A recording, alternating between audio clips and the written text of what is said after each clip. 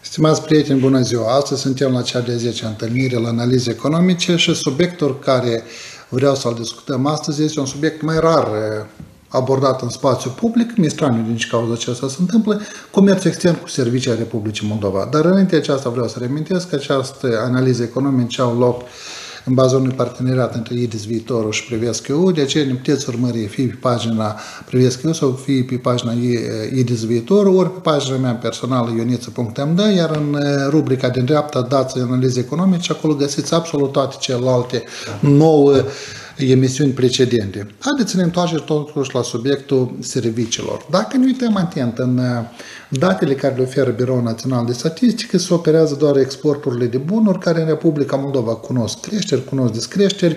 Spre exemplu, în anul 2019 a fost atins maxima istorică de 2 miliarde 780 de milioane de dolari. În 2020, datorită crizei economice, am avut o descreștere a exporturilor de bunuri, însă despre servicii în Republica Moldova nu se discută deloc.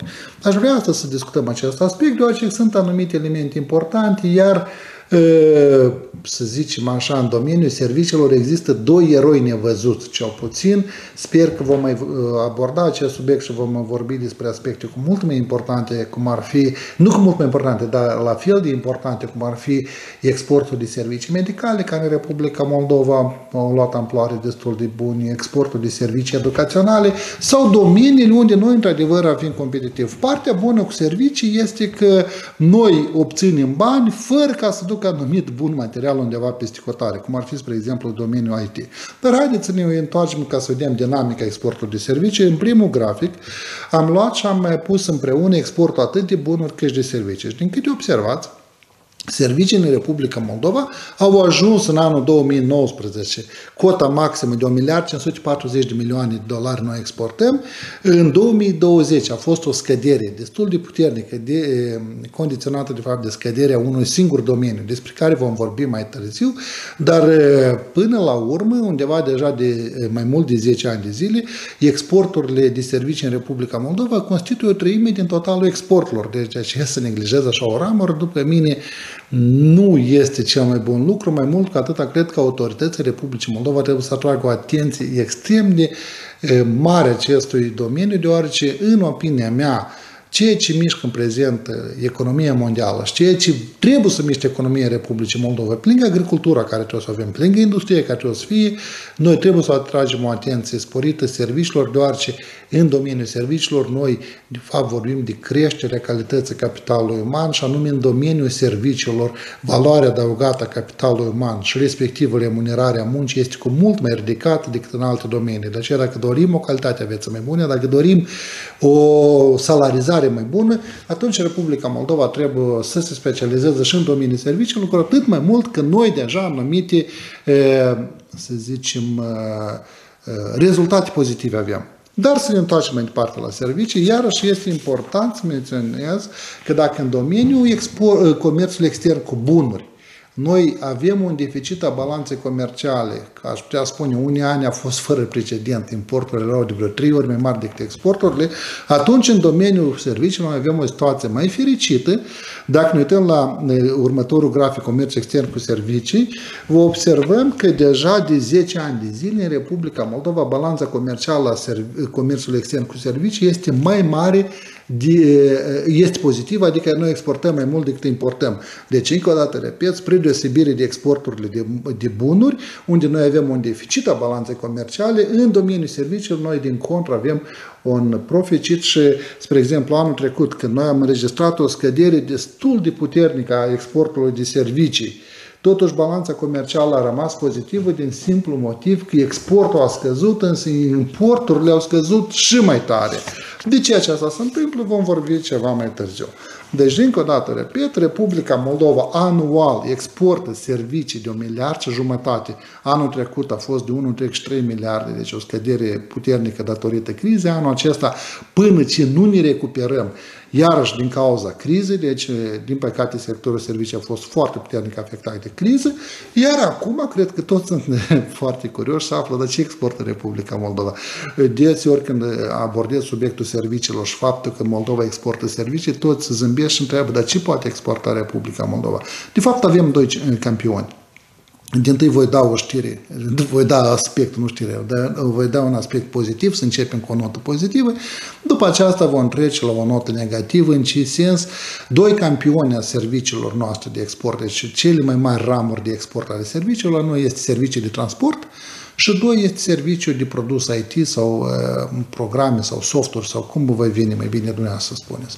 Vreau să spun că dacă în domeniul transportului Republica Moldova are o tradiție lungă de peste 30 de ani, de fapt, de toată perioada de independență, Republica Moldova a exportat servicii de transport. Ce avem în vedere servicii, exportul de servicii de transport?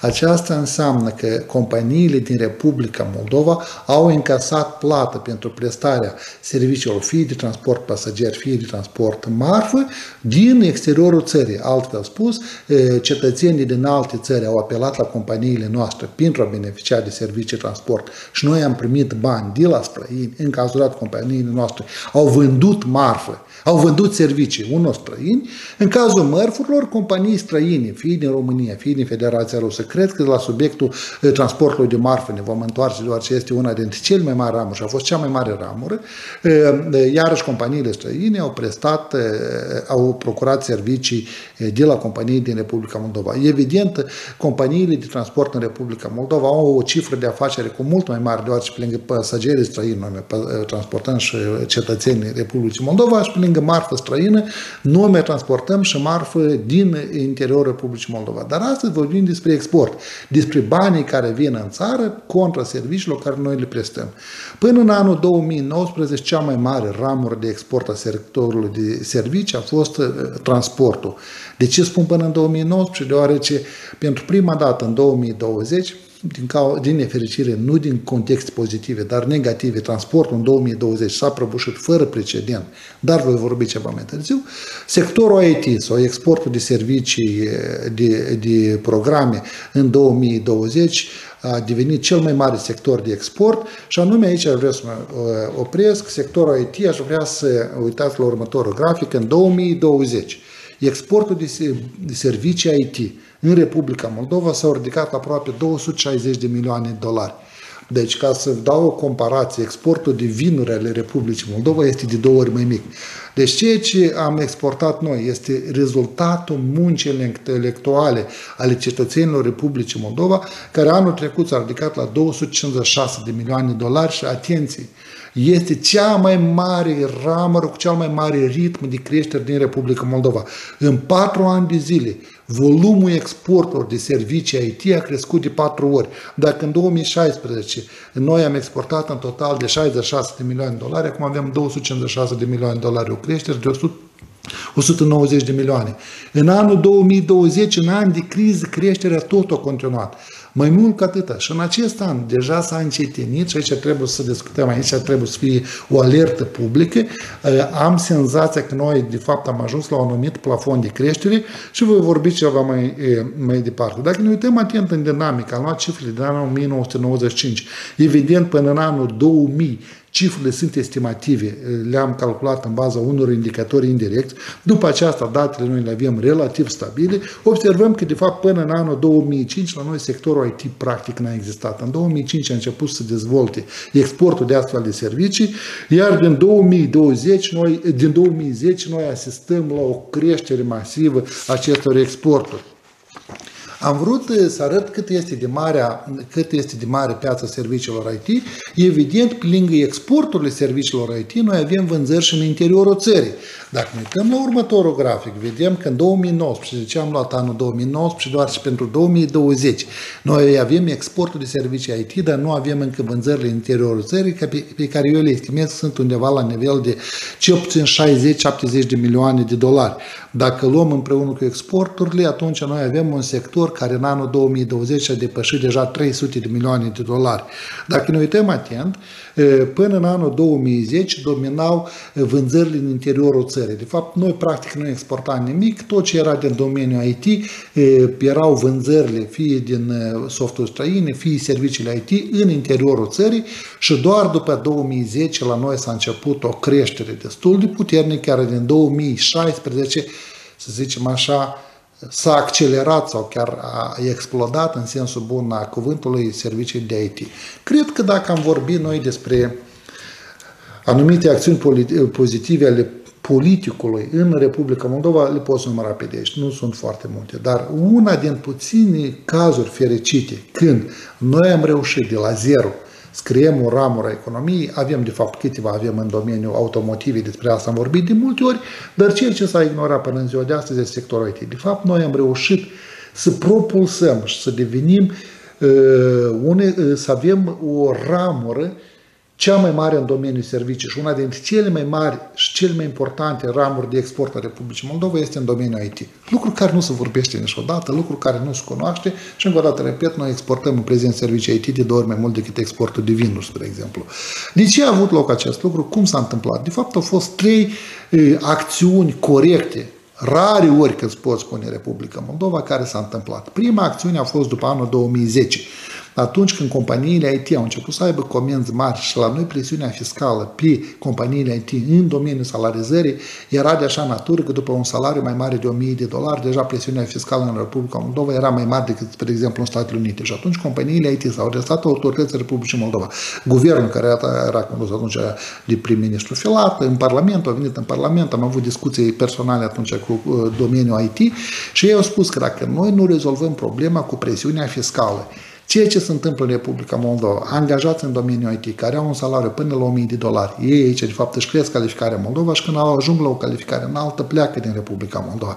Republica Moldova, atunci a făcut acest pas, am creat practic un paradis fiscal, ceea ce ține rem, ă, impozitarea remunerării muncii și în felul acesta, de fapt, noi am ă, stopat exodul intelectualilor din acest domeniu și ei au rămas în interiorul țării. Acesta a fost primul pas. Al doilea pas care s-a întâmplat, deja era guvernul Filip, este a doilea acțiune inteligentă și iarăși repet, dacă aș spune care lucruri inteligente s-au făcut în Republica Moldova în anumite ramuri, foarte greu pot să spun anumite ramuri, dar sectorul IT este o excepție fericită, când s-au creat uh, parcurile IT, când s-au creat iarăși uh, parcurile industriale, când s-au oferit uh, facilități și condiții speciale în aceste parcuri și dacă vă uitați atent, se vede foarte clar pe grafic. Dacă ne uitați la vânzarea serviciilor IT, noi avem practic o explozie după 2016, de fapt după 2010 noi avem o creștere cauzată de facilitățile la remunerarea muncii și al treilea factor care a influențat este suportul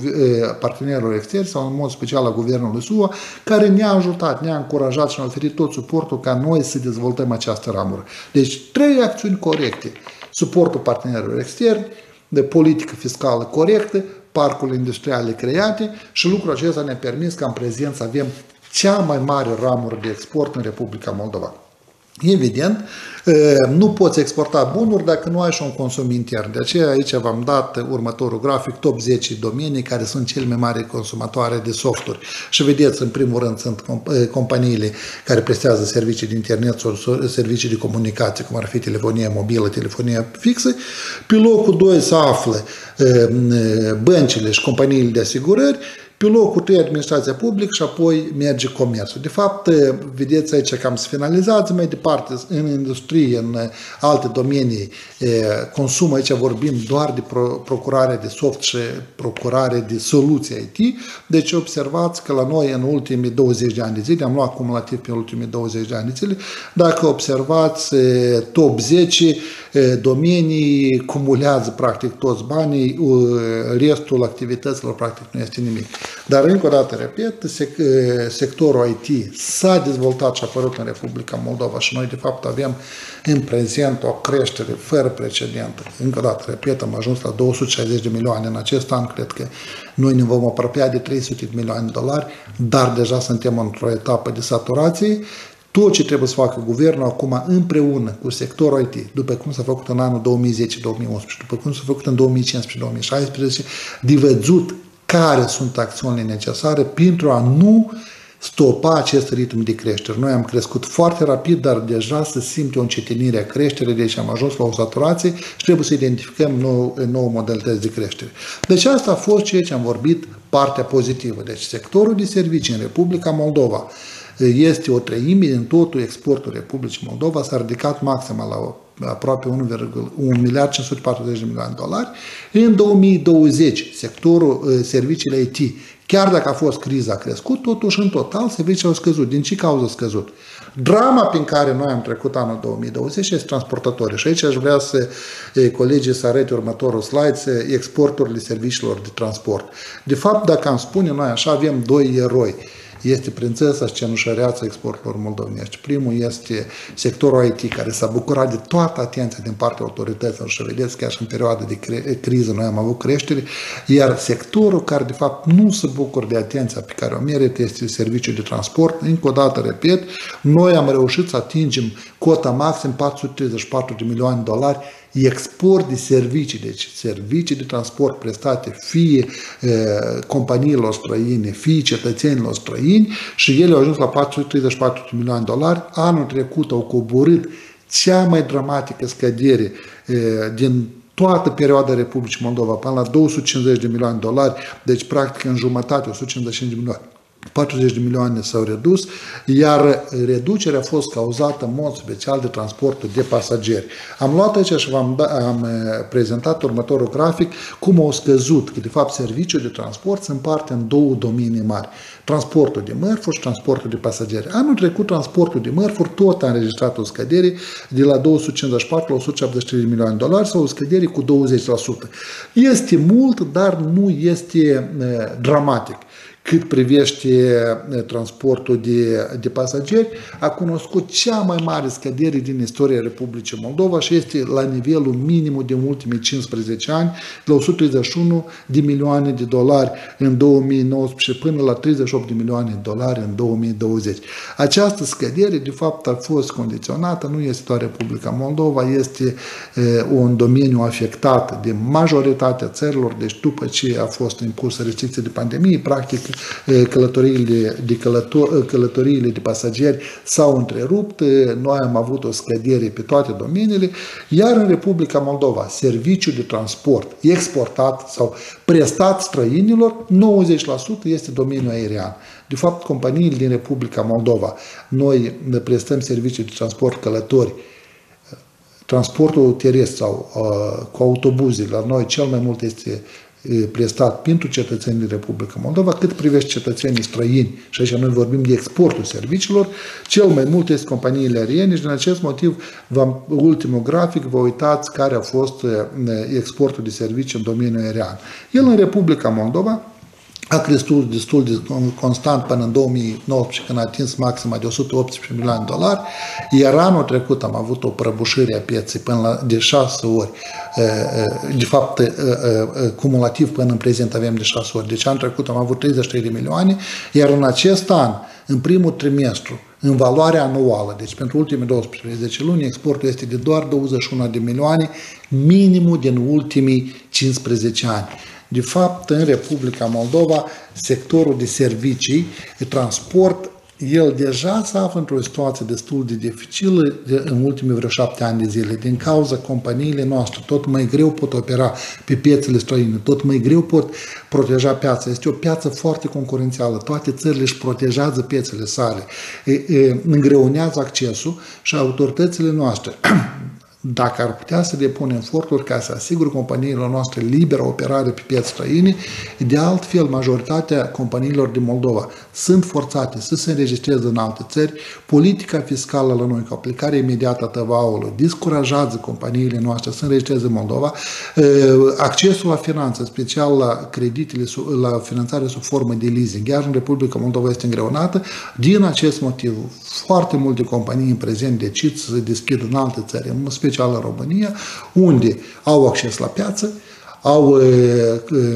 finanțare prin intermediul leasingului și au o abordare fiscală cu mult mai permisivă decât este în Republica Moldova. De fapt, domeniul transportului în Republica Moldova, la capitolul pasageri, a fost afectat strict de criza din 2020, cât privește mărfurile, este afectată de lipsa de atenție din partea statului, de ramura cea mai mare ramură de export a Republicii Moldova, care am ajuns la 440 de milioane de dolari export, este o cifră fără precedent, este ceva inimaginabil pentru mulți, este în afara interesului autorităților statului și dacă nu vom atrage atenția cuvenită, din păcate nu vom pierde această ramură, companiile vor fi nevoite să deschidă în alte țări. Cât privește sectorul IT, în acest an, el este cel mai mare sector de export a serviciilor din Republica Moldova. Cred că ne vom apropia de 300 de milioane de dolari, dar datele arată foarte clar că am ajuns la o limită de creștere și dacă nu vom identifica noi factori de creștere,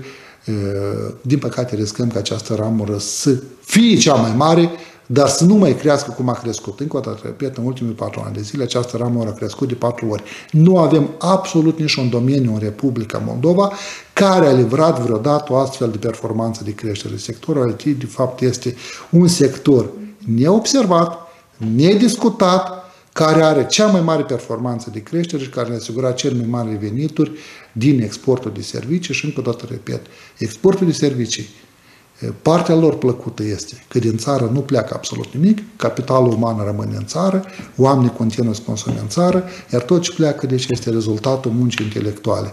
În alte ediții, cred că vom vorbi despre alte domenii ale exportului de servicii, din simplu motiv consider că noi cumva pe nedrept ignorăm acest domeniu important al exporturilor moldovenești, care reprezintă o treime din totalul exportului. Vă mulțumesc și până data viitoare. Încă o dată repet, puteți să urmăriți toate analizele economice pe pagina Privesc, eu pe pagina Iris Viitor sau pe pagina mea ioniță.nd. Vă mulțumesc și până data viitoare!